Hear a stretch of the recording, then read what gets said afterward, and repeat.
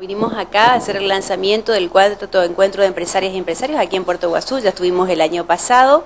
Eh, este año la temática es asociatividad para trascender fronteras. Nos preguntan por qué otra vez Puerto Iguazú. Bueno, la verdad que ustedes tuvieron la suerte de que les toque la varita con, las cataratas, de hecho somos misioneras, creemos que este es un punto estratégico desde todo punto de vista, así que eh, elegimos Puerto Iguazú porque queremos, estamos invitando a la gente de Paraguay y de Brasil y además de de toda la provincia y de la región la temática de, nuestro curso es formación empresaria. ¿Por qué? Porque entendemos que es la mejor herramienta. Eh, ustedes bien saben de que la globalización del mundo hizo que nosotros podamos tener comunicación a cada instante, pero eso también hace que tengamos que ser más productivos y efectivos.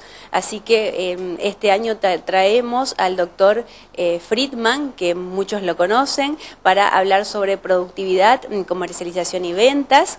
Eh, además, también creímos muy interesante traer eh, al profesor Ernesto Engel, que es misionero, que, cree también que se puede vivir del arte, que hizo un negocio con, con, el arte, que va a estar después del mediodía, y en, hora de, en horas de la mañana invitamos a la gente de Mentoring Empresario, a la doctora Ruiz Cabezas y al doctor Beibe, que eh, es gente de mentoring. Cuando nos preguntan qué es mentoring, eh, en este último tiempo la gente habla mucho de coaching. Entonces el espíritu del coaching es que nosotros hacemos lo que queremos y el espíritu del mentoring es que hacemos lo que podemos.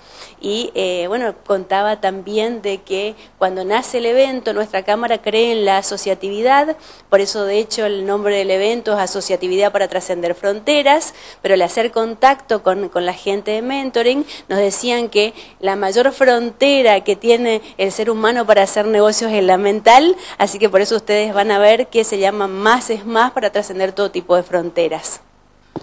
Hablamos del cuarto encuentro y en algún momento esto tuvo una iniciativa. ¿Qué significa formar parte de la CAMEN?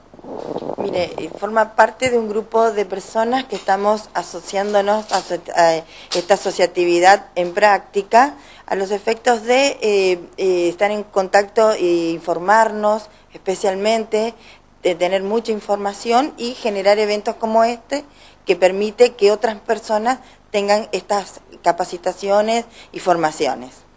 Entonces hacemos formalmente la invitación nuevamente para cuándo? Sí, el 26 de octubre es un viernes en el Hotel Portal American de Iguazú. Es desde las 9 de la mañana hasta las 19.30. Eh, gracias a nuestros sponsors y a la Fundación OSDE, la entrada es libre y gratuita. Cuando me preguntan quiénes pueden asistir, toda persona que tenga en mente hacer un negocio o que tiene un negocio y quiere hacerlo más efectivo, así que están absolutamente todos invitados y desde ya agradecemos porque el éxito del evento eh, se lo debemos a ustedes los periodistas que son los que hacen la comunicación. Así que ojalá que puedan estar todos ahí ese día, toda la gente de la región y que sea un granito de arena más para el éxito en los negocios.